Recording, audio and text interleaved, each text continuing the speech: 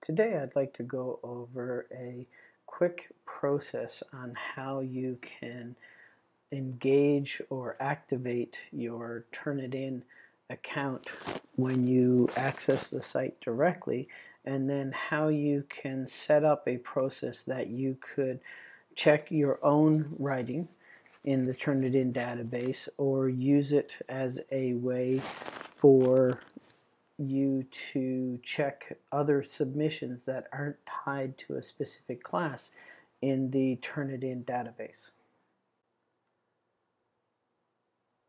So let's say I want to use Turnitin.com to check some of my own work or do something that is outside of one of the courses that I teach.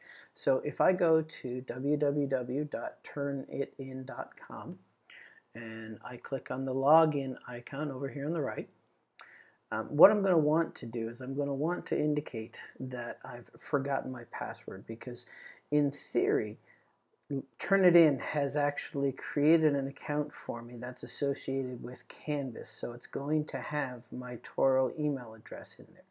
The problem is is that normally we access Turnitin through Canvas and we don't access it directly from the Turnitin website.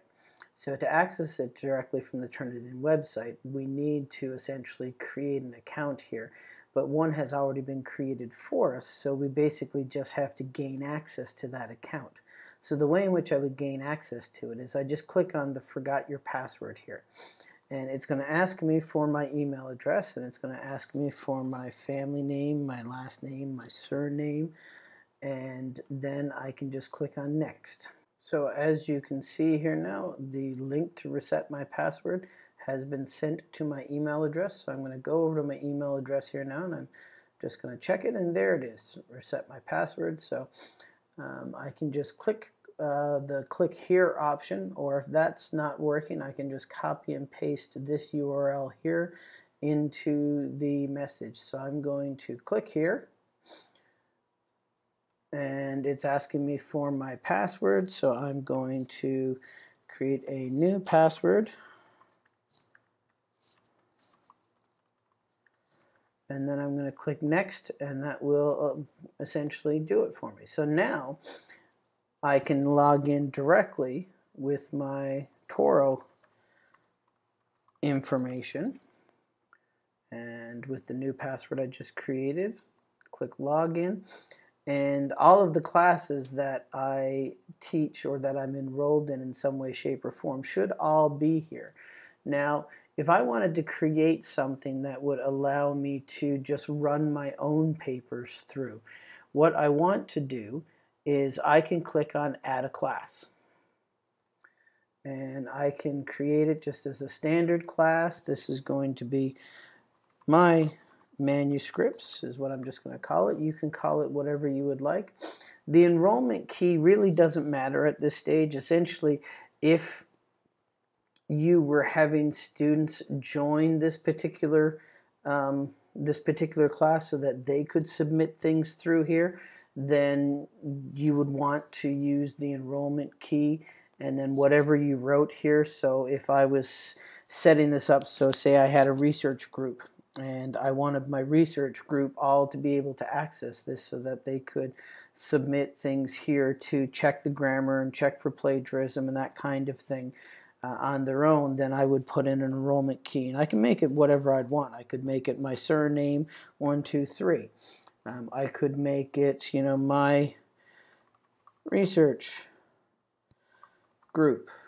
I could even make it Barbour's research group. You know, you can have whatever you would like here. In my case, I'm just going to put my manuscripts. Now you need to put something there because you'll see there's a little key right there. So that little asterisk means I need something in there.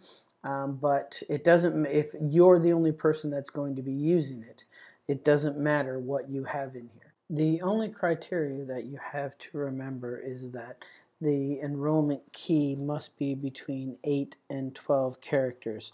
So I'm just going to go here now with Barbour123 as my enrollment key as we continue our way down the criteria here. Um, the subject areas, really, it's entirely up to you. Um, you can put in whatever you would like here. Again, if it's just for your benefit, um, you know, you don't, that's entirely your um, sort of decision on that. Uh, so here, uh, let's see, I'm just going to say, again, it's just for my benefit, so it doesn't matter what I put in for student level. So I'm just going to select graduate. The class start date will be generated based upon whatever the date is today. And then for the end date, again, if you're going to be just doing it yourself, I would go in and pick whatever the most, the furthest date into the future that they will let you pick. So for me right now, doing this in on November 15th, uh, the most furthest date that it'll give me in the future is April 2020, which I guess is about 18 months from now. So I'm going to pick the end of that month because that's the furthest that I can do and click submit. And now you'll see that I've got a class ID in here. I've got an enrollment key as it does done and my class has been created. So I'm going to click on continue and you can see there's a class there called My Manuscripts. And now I can go in and just add an assignment. And in my case, what I'm going to just do is create essentially a single assignment and I'm also going to call that my manuscripts because that's just a place that I want um, for it to, um, you know, for my own manuscripts to go. And in terms of a due date, I'm going to pick as far into the future as I can, which doesn't look to be all that far, to be honest with you. Oh, let's do this then. It'll allow me to go right up to, actually, quite a distance. So in my case, since they made me close the class on April 2020, that's what I'm going to do. So let's make it due available at 18 2020 and the start date is right now. And in terms of the optional settings, uh, what I want to make sure that I do is I want to, let's see, I can allow submissions after the due date, sure. Similarity report, yes, I'd like a similarity report and I'd like it immediately. Um, and I want to exclude the bibliographic stuff. I want to exclude the quoted materials. Uh, I don't want to exclude small sources. Um, it doesn't matter if I want students to see similarity reports or not because I'm not going to, this is for me to use, not for them. Um, I want to enable the translation matching so that if I do quote translated material, that's good.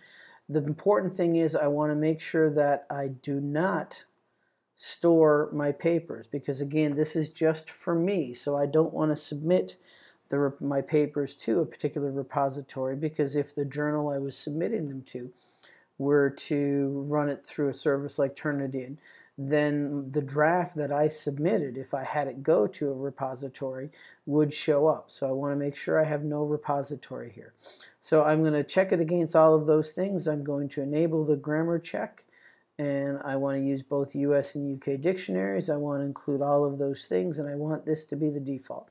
So I'm just going to click submit. So now I've got a place here that I can submit papers to. And one of the nice things is over here in the more actions, you'll see there's an option to submit. So now I can submit my own manuscripts to Turnitin and allow the service to check for the plagiarism, check for the grammar, and use that for my own personal papers. Okay, and that was a quick video looking at how you can use Turnitin to check your own manuscripts or check any manuscripts that aren't associated with a particular course.